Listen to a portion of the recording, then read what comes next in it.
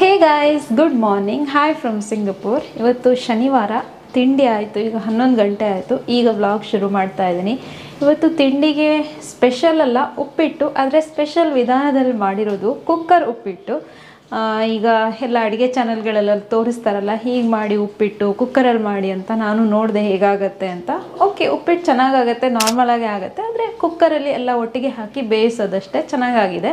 School ಇರೋ ದಿನಗಳಲ್ಲೆಲ್ಲ ಇಂಥ ಪ್ರಯೋಗಗಳನ್ನೆಲ್ಲ ನಾನು ಖಂಡಿತ ಮಾಡೋಕ್ಕೋಗಲ್ಲ, ಯಾಕಂದರೆ ಬೆಳಗ್ಗೆ ಬೆಳಗ್ಗೆನೇ ಎಲ್ಲ ಹಾಳಾಗೋದ್ರೆ ತಲೆ ಎಲ್ಲ ಹಾಳಾಗೋಗುತ್ತೆ ಮತ್ತು ಅದಕ್ಕೆ ರಜೆ ಇರುವಾಗ ಶನಿವಾರ, ಆದಿತ್ಯವಾರ ಅಥವಾ ಯಾವುದಾದ್ರೂ ರಜೆ ಇರೋ ದಿನ ಇಂಥ ಪ್ರಯೋಗಗಳನ್ನೆಲ್ಲ ಮಾಡೋಕ್ಕೆ ಹೋಗೋದು. ಪರವಾಗಿಲ್ಲ ನಾರ್ಮಲ್ ಆಗೇ ಆಗಿದೆ. ನಾನು ವಿಷಲ್ ಬರೋವರೆಗೂ ಕಾದಿಲ್ಲ ಇವತ್ತು. ಯಾಕಂದರೆ ನೀರು ಸ್ವಲ್ಪ ಹದವಾಗಿ ಹಾಕಿದ್ದೆ ಇನ್ನದು ಕೆಳಗಡೆ ಹೊತ್ಕೊಂಡ್ಬಿಟ್ರೆ ಅಂತ ಆಯಿತು, ಅದಕ್ಕೆ ಆಫ್ ಮಾಡಿದೆ, ಆದರೆ ಚೆನ್ನಾಗಾಗಿದೆ ಉಪ್ಪಿಟ್ಟು. ನಾನು ವರ್ಕ್ ಏರಿಯಾದಲ್ಲಿ ನಿಂತ್ಕೊಂಡು ಬ್ಲಾಗ್ ಶುರು ಮಾಡಿದೆ ಇವತ್ತು. ಭಯ ಪಡಬೇಡಿ ಬಟ್ಟೆ ಒಗೆಯೋದು ತೋರಿಸಲ್ಲ.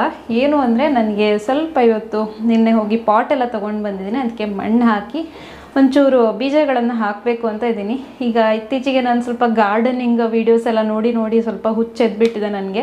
ಹಾಗೆ ಕೆಲವೊಂದು ಟ್ರೈ ಮಾಡೋಣ ಅಂತ ಇದ್ದೀನಿ ನಾನು. ತೋರಿಸ್ತೀನಿ ನಿಮಗೆ ನೋಡಿ, ಒಂದು ಇದು ಮೂಲಂಗಿ ಬೀಜ ತೊಗೊಂಡು ಬಂದಿದ್ದೀನಿ. ಅದು ಏನು ಹುಚ್ಚಿಡಿದಿದೆಯೋ ಗೊತ್ತಿಲ್ಲ. ಅವ್ರು ಮಾಡೋದು ಅದು ಯಾವುದೋ ಅರ್ಬನಿಂಗ್, ಅರ್ಬನ್ ಗಾರ್ಡನಿಂಗ್ ಅಂತೇನೋ ಇದೆ ಒಂದು ಚಾನೆಲು. ಅದನ್ನು ನೋಡಿ ನೋಡಿ ನನಗೆ ಫುಲ್ಲು ಈಗ ಮಾಡಬೇಕು ಅಂತ ಅನ್ನಿಸ್ಬಿಟ್ಟಿದೆ ಅದರಲ್ಲಿ ಇವರು ಮೂಲಂಗಿ ಮಾಡೋದು ತೋರಿಸಿದ್ರು. ನನಗೆ ಆ್ಯಕ್ಚುಲಿ ಅಷ್ಟೊಂದೇನು ಇಷ್ಟ ಇಲ್ಲ ಮೂಲಂಗಿ. ಆದರೆ ಅದನ್ನು ಮಾಡೋದು ಆ ಒಂದು ಬೆಳೆ ಬಂದಿದೆಯಲ್ಲ ಅದನ್ನು ನೋಡಿ ತುಂಬ ಆಸೆ ಆಯಿತು. ನಾನು ಕೂಡ ಟ್ರೈ ಮಾಡೋಣ ಅಂತ ತೊಗೊಂಡು ಬಂದೆ. ಇದೇ ಥರ ಎಲ್ಲನೂ ಕ್ಯಾರೆಟು ಬೀಟ್ರೂಟು ಎಲ್ಲನೂ ಮಾಡ್ತಾರವರು ಯಾವ ಥರ ಬರುತ್ತೆ ನಿಜವಾಗ್ಲೂ ಗೊತ್ತಿಲ್ಲ. ನೋಡಬೇಕು ಟ್ರೈ ಮಾಡಬೇಕು ಒಮ್ಮೆ. ಇದು ಪಾಟಿಂಗ್ ಮಿಕ್ಸು ಮಣ್ಣು ಮತ್ತು ಇದು ಕೋಕೋ ಪೀಟ್ ತಂದು ಸುಮಾರು ದಿನ ಆಯಿತು. ನಾನು ಸ್ವಲ್ಪ ಹೊರಗಡೆ ಇರೋ ಪಾಟಿಗೆ ಹಾಕಿದ್ದೀನಿ. ಇನ್ನೂ ಇದೆ. ಇದನ್ನು ಯೂಸ್ ಮಾಡ್ಕೋಬೇಕು. ಮೂಲಂಗಿ ಬೀಜಗಳು ಇದರಲ್ಲಿ ಐವತ್ತಿದೆ ಅಂತೆ ಹಾಗೆ ಮೂವತ್ತು ದಿನದಲ್ಲಿ ಇದು ಬೆಳೆ ಬರುತ್ತೆ. ಕಂಪ್ಲೀಟ್ ಆಗಿ ಬೀಜ ಹಾಕೋದ್ರಿಂದ ಹಿಡಿದು ಬೆಳೆ ಬರೋವರೆಗೂ ಮೂವತ್ತು ದಿನ ಸಾಕಂತೆ. ನೋಡಬೇಕು ಹೇಗೆ ಬರುತ್ತೆ ಅಂತ. ಇದು ಎಲ್ಲ ಹಾಕಲ್ಲ, ಸ್ವಲ್ಪ ಹಾಕಿ ನೋಡ್ತೀನಿ ಬೀಜ. ಈ ಪಾಟಲ್ಲಿ ಹಾಕೋಣ ಅಂತ ಇದ್ದೀನಿ ನಾನು. ಹಾಗೆ ಇದಕ್ಕೆ ಹೊರಗಡೆ ಹ್ಯಾಂಗ್ ಮಾಡೋದಕ್ಕೆ ಕೂಡ ನಾನು ಇದನ್ನು ತೊಗೊಂಡು ಬಂದಿದ್ದೀನಿ. ಪಾಟಿಗೆ ನಾನು ಕೋಕೋಪಿಟ್ ಮತ್ತು ಮಣ್ಣು ಎರಡನ್ನ ಮಿಕ್ಸ್ ಮಾಡಿ ಹಾಕ್ಕೊಳ್ತೀನಿ ಯಾಕಂದರೆ ಕೋಕೋಪಿಟ್ ಹಾಕಿದರೆ ನೀರು ನಿಲ್ಲೋದಕ್ಕೆ ಚೆನ್ನಾಗಿರುತ್ತೆ.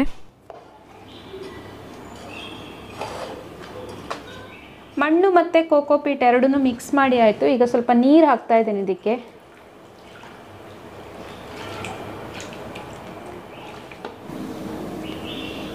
ಇದೆ ನೋಡಿ, ಇದು ಚಿಕ್ಕ ಚಿಕ್ಕದು. ನಾನೊಂದು ಹತ್ತು ಹಾಕಿ ನೋಡ್ತೀನಿ. ಇಷ್ಟು ಬೀಜಗಳನ್ನು ಹಾಕ್ತೀನಿ. ಹೇಗೆ ಬರುತ್ತೆ ಅಂತ ನೋಡಬೇಕು.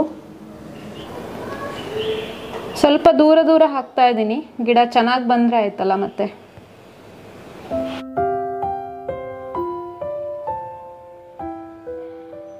ಬೀಜಗಳನ್ನು ಹಾಕಿ ಆದಮೇಲೆ ಅದ್ರ ಮೇಲಿಂದ ತೆಳ್ಳಗಿನ ಒಂದು ಲೇಯರ್ ಮಣ್ಣನ್ನು ಹಾಕ್ತಾ ಇದ್ದೀನಿ.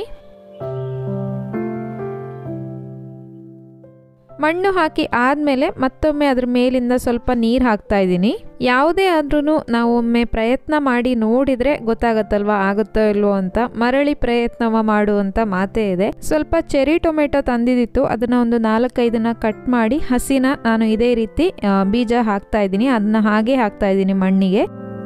ಇದು ಇಷ್ಟನ್ನ ರೆಡಿ ಮಾಡಿ ಒಂದು ಸ್ಟ್ಯಾಂಡಲ್ಲಿ ಕಿಟಕಿ ಪಕ್ಕನೇ ಇಡ್ತಾ ಇದ್ದೀನಿ. ಇಲ್ಲಿ ಜಾಸ್ತಿ ಬಿಸಿಲು ಬರಲ್ಲ. ಇದನ್ನು ಸ್ವಲ್ಪ ದಿನ ಆದಮೇಲೆ ನಾನು ಹೊರಗೆ ತಗೊಂಡೋಗಿ ಇಡ್ತೀನಿ.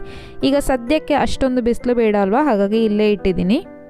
ಇದರದ್ದು ರಿಸಲ್ಟ್ ಏನಾಯಿತು? ಸಕ್ಸಸ್ ಆಯಿತಾ? ಫೇಲ್ಯೂರ್ ಆಯಿತಾ? ಅನ್ನೋ ಅಪ್ಡೇಟ್ಸನ್ನು ನಾನು ಮುಂದೆ ಬರುವ ವೀಡಿಯೋಸ್ಗಳಲ್ಲಿ ತಿಳಿಸ್ತಾ ಇರ್ತೀನಿ ನಿಮಗೆ.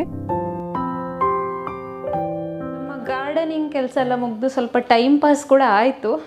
ಇನ್ನೂ ಅಡುಗೆ ಆಗಿಲ್ಲ, ತುಂಬ ಲೇಟ್ ಆಯಿತು. ಒಂದೂವರೆ ಆಯಿತು. ಈಗ ಸ್ಟಾರ್ಟ್ ಮಾಡ್ತಾ ಇದ್ದೀನಿ. ಅನ್ನಕ್ಕೆ ಇಟ್ಟಿದ್ದೀನಿ ಅನ್ನ ಆಗ್ತಾ ಇದೆ. ಹಾಗೆ ಇಲ್ಲಿ ಬೆಂಡೆಕಾಯಿ ಎಲ್ಲ ನೋಡಿ ಕಟ್ ಮಾಡಿ ಇಟ್ಟಿದ್ದೀನಿ ಇವತ್ತು. ಬೆಂಡೆಕಾಯಿ ಕಾಯಿ ರಸ ಮಾಡೋಣ ಅಂತ ಎಲ್ಲ ರೆಡಿ ಮಾಡಿ ಇಟ್ಟಿದ್ದೀನಿ. ಕಾಯಿ ರಸಕ್ಕೆ ನಾನು ಬೆಂಡೆಕಾಯಿನ ಸ್ವಲ್ಪ ಹುರ್ಕೊಳ್ತಾ ಇದ್ದೀನಿ, ಒಂದು ಐದು ನಿಮಿಷ. ಇದು ನಾವು ಯೂಶ್ವಲಿ ಮಾಡುವಾಗ ಹುರಿಯಲ್ಲ, ನಾನೊಂದು ಸ್ವಲ್ಪ ಟೇಸ್ಟ್ ಎನ್ಹ್ಯಾನ್ಸ್ ಆಗುತ್ತೆ, ಅದಕ್ಕೋಸ್ಕರ ಹುರ್ಕೊಳ್ತಾ ಇದ್ದೀನಿ ಅಷ್ಟೇ. ಇದು ನಮ್ಮ ದಕ್ಷಿಣ ಕನ್ನಡದಲ್ಲಿ ಸ್ಪೆಷಲ್ ಆಗಿ ಹವ್ಯಕರ ಮನೆಗಳಲ್ಲಿ ಮಾಡುವಂತಹ ಒಂದು ಟ್ರೆಡಿಷನಲ್ ರೆಸಿಪಿ ತುಂಬ ಸಿಂಪಲ್ ಆಗಿ ಮಾಡ್ಬೋದು. ಹಾಗೆ ಟೇಸ್ಟ್ ಕೂಡ ತುಂಬ ಚೆನ್ನಾಗಿರುತ್ತೆ.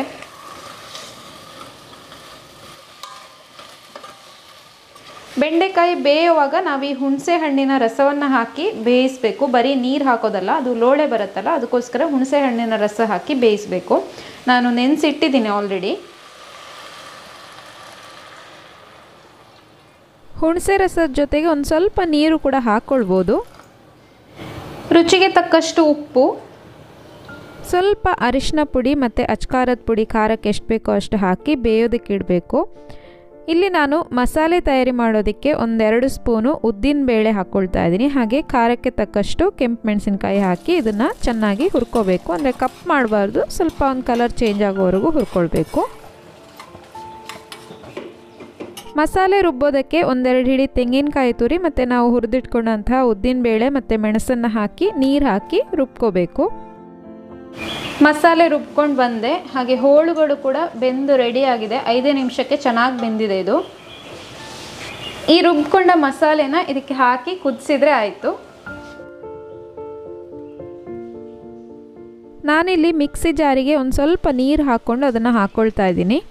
ಇದು ಸ್ವಲ್ಪ ದಪ್ಪ ಇದ್ರೇ ನನಗೆ ರುಚಿ ಆಗೋದು. ತುಂಬ ನೀರಾದರೆ ಅಷ್ಟು ಖುಷಿ ಆಗಲ್ಲ. ಹಾಗಾಗಿ ಕನ್ಸಿಸ್ಟೆನ್ಸಿ ನಿಮ್ಗೆ ಹೇಗೆ ಬೇಕೋ ನೋಡ್ಕೊಂಡು ಮಾಡ್ಬೋದು. ಸ್ವಲ್ಪ ದಪ್ಪವಾಗಿ ಇಟ್ಕೊಳ್ಳಿ. ಈಗ ಇದಕ್ಕೆ ನಾನು ಬೆಲ್ಲ ಹಾಕ್ತೀನಿ. ಈ ಟೈಮಲ್ಲಿ ನಿಮಗೆ ಉಪ್ಪು ಏನಾದರೂ ಕಡಿಮೆ ಇದ್ದರೆ ಹಾಕೋಬೋದು. ಇಷ್ಟು ಬೆಲ್ಲ ಹಾಕ್ತಾ ಇದ್ದೀನಿ. ಮಸಾಲೆ ಸೇರಿಸಿ ಆದಮೇಲೆ ಒಂದು ಐದು ನಿಮಿಷ ಚೆನ್ನಾಗಿ ಕುದಿಸ್ಕೋಬೇಕು. ಒಗ್ಗರಣೆಗೆ ಸಾಸಿವೆ ಮತ್ತು ಒಣಮೆಣಸಿನ ಒಗ್ಗರಣೆ, ಸ್ವಲ್ಪ ಕರಿಬೇವು ಕೂಡ ಹಾಕ್ಕೋಬೋದು.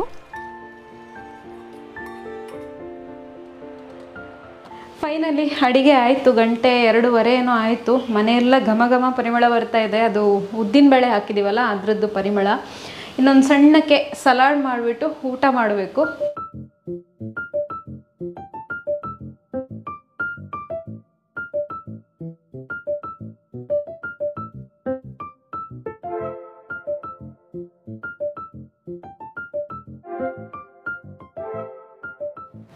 ಇವತ್ತಿನ ಮಜ್ಜಿಗೆನ ಆಗಲೇ ಕಡ್ದು ಇಟ್ಟಿದ್ದೀನಿ ಆದರೆ ಇನ್ನೂ ಕೂಡ ಬೆಣ್ಣೆ ತೆಗ್ದಾಗಿಲ್ಲ, ಹಾಗೆ ಇದೆ, ಅದನ್ನು ತೆಗೆದಿಡೋಣ ಅಂತ ಈಗ ಬಂದಿದ್ದೀನಿ. ಇವತ್ತು ನಿಮಗೆ ಯಾಕೆ ಇದನ್ನು ಮತ್ತೆ ತೋರಿಸ್ತಾ ಇದ್ದೇನೆ ಅಂತ ಹೇಳಿದರೆ, ನಾನು ಸ್ವಲ್ಪ ಎರಡು ಮೂರು ವೀಡಿಯೋಸ್ ಹಿಂದೆ ಹೇಳಿದ್ದೆ. ನನಗೆ ಮಜ್ಜಿಗೆ ಕಡಿಯುವಾಗ ಸುತ್ತಮುತ್ತಲೆಲ್ಲ ಸಿಡಿಯುತ್ತೆ ಅಂತ. ಅದಕ್ಕೆ ವಿಡಿಯೋ ನೋಡಿದವರು ತುಂಬ ಜನ ನನಗೆ ಸಜೆಷನ್ಸ್ ಕೊಟ್ಟಿದ್ದೀರಾ. ನಾವು ಬಟ್ಟೆ ಮುಚ್ಚಿ ಹಾಕ್ತೀವಿ ಕಡಿಯುವಾಗ, ಅಥವಾ ನೀವು ಪ್ಲಾಸ್ಟಿಕ್ ಪ್ಲೇಟಿಗೆ ತೂತ ಮಾಡಿ ಇಡಿ ಇದನ್ನು ಅಂತೆಲ್ಲ ಹೇಳಿದ್ರಿ. ತುಂಬ ಥ್ಯಾಂಕ್ ಯು ನಾನಿವಾಗ ಸದ್ಯಕ್ಕೆ ಬಟ್ಟೆನ ಮುಚ್ಚಿ ಮಜ್ಜಿಗೆ ಕಡಿಯೋಕ್ಕೆ ಹಾಕ್ತೀನಿ. ತುಂಬಾ ಹೆಲ್ಪ್ ಆಯಿತು ನನಗೆ. ನೀವು ಹೇಳಿದ ಐಡಿಯಾವನ್ನೇ ನಾನೀಗ ಫಾಲೋ ಮಾಡ್ತಾ ಇದ್ದೀನಿ. ತುಂಬ ಯೂಸ್ಫುಲ್ ಆಯಿತು. ಥ್ಯಾಂಕ್ಸ್ ಆಯಿತಾ? ಯಾರೆಲ್ಲ ನನಗೆ ಐಡಿಯಾಸ್ ಕೊಟ್ಟಿದ್ರಿ? ಎಲ್ರಿಗೂ ಥ್ಯಾಂಕ್ ಯು ಇಷ್ಟು ಚಿಕ್ಕ ವಿಷಯಗಳು ನೋಡಿ ನಮಗೆ ಕೆಲವೊಂದು ಸಲ ತಲೆಗೆ ಹೋಗಲ್ಲ. ಐಡಿಯಾ ಬರಲ್ಲ ತಲೆಗೆ. ಬೇರೆಯವರು ಹೇಳಿದಾಗ ನಮಗೆ ಹಾ, ಹೀಗೂ ಮಾಡ್ಬೋದಿತ್ತಲ್ವಾ ಅಂತ ಅನಿಸುತ್ತೆ. ಹಾಗಂತ ಹೇಳಿ ಏನೂ ಗೊತ್ತಿಲ್ಲ ಅಂತಲ್ಲ, ಹಂಗೆ ಅಂದ್ಕೊಳ್ಳೋರು ಇದ್ದಾರೆ ಏನು ಗೊತ್ತಾಗಲ್ವ ಇವರಿಗೆ? ಅಷ್ಟು ಗೊತ್ತಾಗಲ್ವಾ ಅಂತ. ಹಾಗಲ್ಲ. ಅದೊಂದು ಕೆಲವೊಂದು ಸಲ ನಮಗೆ ಗೊತ್ತಾಗಲ್ಲ ಮಾಡೋದಕ್ಕೆ. ಎಲ್ಲರೂ ಎಲ್ಲನೂ ಕಲ್ತು ಬಂದಿರಲ್ಲ. ಅದಕ್ಕೆ ಅಲ್ವಾ ಕಮ್ಯುನಿಕೇಷನು ನಾವು ಬೇರೆಯವ್ರ ಹತ್ರ ಮಾತನಾಡೋದು ಎಲ್ಲ ಇದಕ್ಕೇನೆ ಅಲ್ವಾ?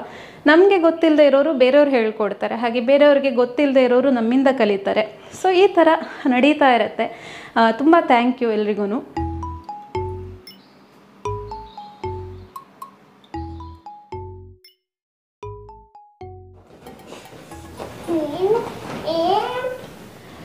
ಫ್ರೆಂಡ್ಸ್ ನಮ್ಮದು ಮಧ್ಯಾಹ್ನದ ಊಟ ಆಯಿತು. ಈಗ ಕೂತೆ ಬಂದು ಎಲ್ಲ ಕೆಲಸ ಮುಗಿಸಿ ವತ್ಸ ನೋಡಿ ಇಲ್ಲಿ ಜಂಪ್ ಜಿಲಾನಿ ಮಾಡ್ತಾ ಇದ್ದಾನೆ.